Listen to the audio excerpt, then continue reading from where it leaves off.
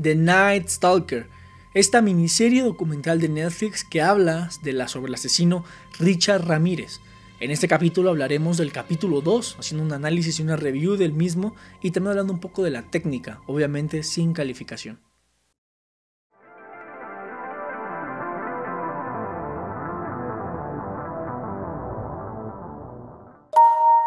Hola, muy buenas tardes a todos y bienvenidos a un nuevo video de nuestro canal Mundus Nox. En este video seguiremos con el capítulo 2 de la serie The Night Stalker. Eh, que bueno, este capítulo 2 no decepciona en absoluto. Vemos que el capítulo 1 pues es una, una narrativa de ver eh, sobre los investigadores y eh, profundizar cómo ellos lograron determinar que se trataba de un asesino en serie. Recordemos que habían, habían asesinados así en, en un lugar y en muchos kilómetros más alejado y bueno, era un caos y al final pues ellos lograron eh, determinar que era un solo sujeto quien hacía todos ellos gracias a Gil Carrillo que pues bueno, las huellas de zapatos lo ayudaron. Eh, las huellas de zapatos en este capítulo 2 son bastante importantes, pero ahorita hablaremos de ello. Empieza eh, con Frank Salerno hablando de un caso eh, muy conocido también de los años 70 sobre el asesino Kenneth Bichardi, mejor conocido como el estrangulador de la colina, un policía que, bueno, junto con su primo asesinaban a chicas y bueno, Frank Salerno logró capturar a este sujeto. Decían que era un caso sumamente difícil porque era un policía y eran dos sujetos diferentes, entonces eran primos. Entonces eh, fue increíble, ahí tuvo mucha fama Salerno. Pero después de eso, Frank Salerno dijo algo que, que, que se tragó él mismo, sus palabras después. Dijo, este caso es uno en la vida. Y años después se tragó sus palabras porque llegaría Richard Ramírez. En este capítulo 2 nos muestran el caso, bueno, logran saber qué tipo de zapato tenía el, asesino, gracias a las huellas, logran saber que, eh, bueno, los dueños de esta empresa de zapatos que era muy nueva, eh, les dio autorización para ver los registros eh, de, zapatos que viajaban de Taiwán a Los Ángeles y ver cuántos se distribuían. Empezaron a atar cabos, ¿no? Era una talla 11 a 12, el asesino, y era de color negro, porque los, las víctimas que sobrevivieron habían visto a ese sujeto con eh, color negro. Entonces, bueno, al final lograron saber qué tipo de zapato era y ya tenían una pista más. Eh, porque solamente había unos pares que en esa tienda eh, en Los Ángeles habían estado. Eh, en esa talla y negro. Solamente había, habían unos y habían sido vendidos. Entonces ya sabían eh, más o menos qué tipo de zapato tenía el asesino y qué, y, lo usaba. Y cada vez que un asesinato, pues encontraban las huellas y determinaban por la suela del zapato que era el mismo sujeto. Entonces eh, eso, fue una, eso fue de gran ayuda. Este capítulo 2, pues bueno, nos van mencionando varias este, experiencias de una mujer llamada eh, Laurín Rodríguez. Su esposo John Rodríguez era policía. Este sujeto eh, intentó entrar a su casa, pero no, no pudo. Y al final, pues bueno, ahí tuvieron otra huella. Y así, específicamente. Eh, nos van contando también este, cómo empezaron a eh, este Richard Ramírez empezó a fallar, ¿no? Eh, robó un carro, eh, bueno, se transportaba con él, tuvo una infracción, al final este, un policía lo, detuvo, este sujeto escapó y sabían que ese carro era de, este sujeto porque había intentado secuestrar a, una chica y no pudo, entonces se alarmó a la policía y bueno, sabían que ese carro era sobre un asesino, pero no, bueno, no, no, le dieron autorización hasta tiempo después, puesto que había, no sé, algo muy raro ahí de la, de esta agencia que tenía el carro, entonces eh, no los dejaron los investigadores entrar hasta 10 días después del acontecido, pero para esto eh, ya habían ocurrido cinco asesinatos más en estos días, entonces era una cosa increíble, ¿no? Eh, vemos, experimentamos, nos narran esta desesperación que tenía Gil Carrillo más que nada, que quería, este, sufrió mucho en este caso, puesto que, bueno, es difícil, ¿no? Él tenía tres hijos, el menor era de 7, el mayor era de 13, su esposa, él tenía 35, no sabía cómo diferenciar del trabajo y su casa, es muy complicado, yo creo, no sé. Eh, resulta que en un caso eh, violaron a una vecina de, él y resultó ser eh, Richard Ramírez. Entonces él estaba, bueno, desesperado, enojado, quería detener a este asesino. Y bueno, al final del capítulo logran entrar, bueno, ver el carro del que le había robado y consiguen una tarjetita de un dentista. El dentista van a hablar con él, le dan las radiografías eh, Gil Carrillo tiene un conocido dentista, entonces va con él.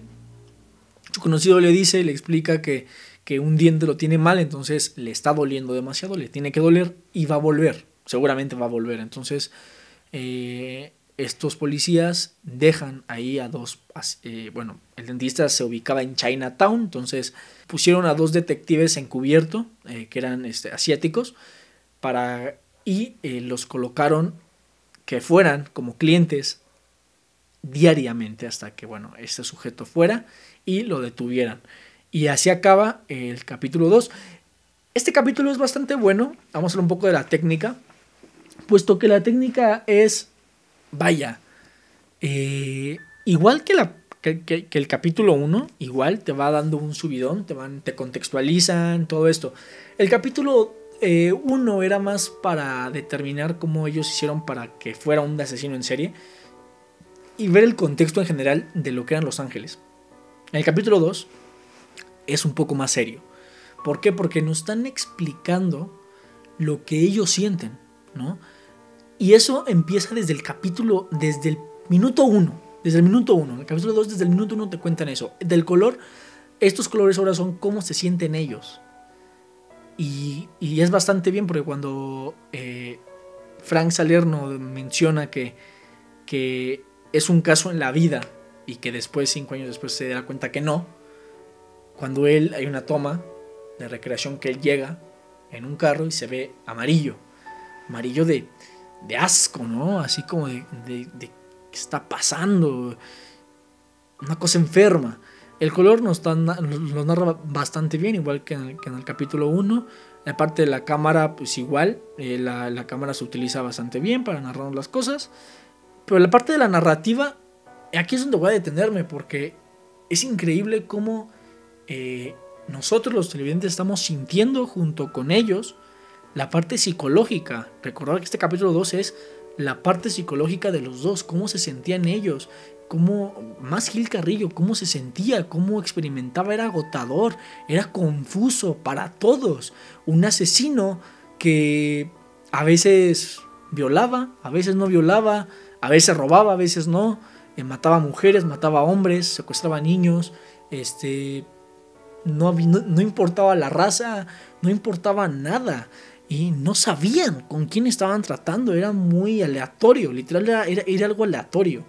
Entonces, si nos mencionan esta frustración de, de, toda la agencia de policía, de las personas, ¿no? También empiezan a incorporar un poco de los medios, porque a partir del caso, que lo tengo anotado, de Joyce Nelson, una mujer de 60 años que fue asesinada por este sujeto, eh, que hubo un intento de violación, pero bueno, la mujer eh, se defendió, puesto que había, bueno, tenía hematomas en los, en los nudillos, uñas rotas, eh, una clara evidencia de que ella se había defendido. Y pues él, enojado, desató su furia y mató a esta mujer, a Joyce Nelson. Eh, a partir de ese caso empieza a ser muy mediático todo, los medios de comunicación empiezan a hablar, puesto que obviamente llegan a una escena del crimen, están, llegan los, los medios, empiezan a decir qué pasó aquí, los policías obviamente con, su confidencialidad le dicen no, aquí no pasó nada, pero pues ven que llega Gil Carrillo y, y Frank Salerno y, y dicen no, aquí, aquí no, aquí pasó algo serio, entonces pues nos empiezan a involucrar bastante. Eh, nos cuentan ahí unas pequeñas anécdotas que son de los medios, que son un poco frustrantes, pero son, es muy entretenido ver. Y, esta narrativa del capítulo 2 sí te transporta, puesto que al final, eh, que ya eh, tienen una posibilidad de atrapar a este asesino, tú sientes y dices a fuerzas, ¿no? Aunque tú ya sabes, porque tú ya sabes la historia de Richard Ramírez, que lo, obviamente que lo atrapan, la narrativa te va llevando junto a ellos es una explosión. Eh, esta emoción fue más que la emoción del capítulo 1, puesto que yo creo que va a ir exponencialmente. Eh, es exponencialmente, en este capítulo son, son exponenciales, te van, es una subida y bajada, subida y bajada, pero al final te suben.